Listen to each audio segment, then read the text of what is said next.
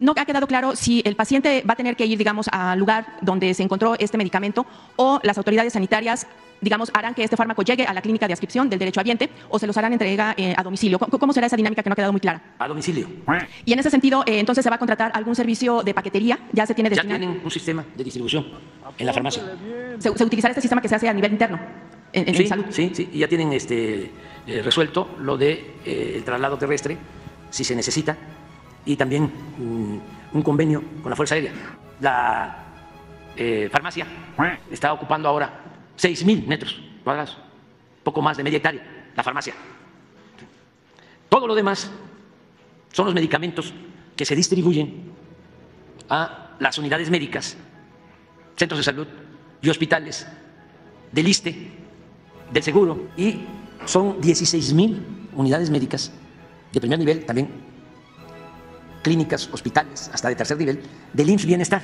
En suma, hay que abastecer a 20 mil unidades, cerca de 20 mil unidades. En cada unidad de estas, en casi todas, hay una farmacia, o hay un pequeño almacén con las medicinas que se requieren, un número determinado de claves que se requieren. Ese sistema de distribución ya está funcionando. Pero la farmacia tiene el propósito de que si en una de esas 20.000 unidades médicas un paciente no tiene la medicina que necesita, habla a la farmacia con la receta, da sus datos.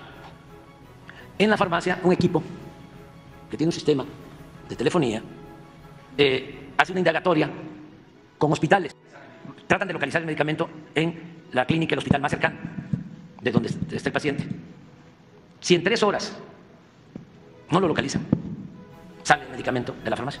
Y llegará en ese caso al domicilio del paciente. Llegará en ese caso al domicilio del paciente o a la unidad médica más cercana, este, donde le hayan dado la receta, donde lo haya atendido el médico, O sea, donde le donde corresponde. le corresponda, pero le va a llegar en un término no mayor de 48 horas. Lo que es la adquisición y la compra de medicamentos de otros países, usted comentaba que finalmente también la, la- la idea es tener otro tipo de, de medicamentos. ¿Cómo, se está, ¿Cómo va a ser este proceso? Ya se inició, ya se tienen los medicamentos para este año.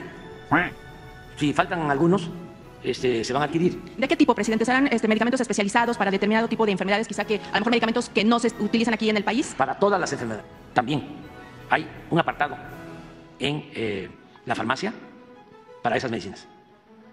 Que aquí hay- también aclaro algo. Son en algunos casos muy caras. ¿sí? Pero no, no se le va a negar a nadie la medicina que requiere. Bien. Sí, todas, todas las medicinas.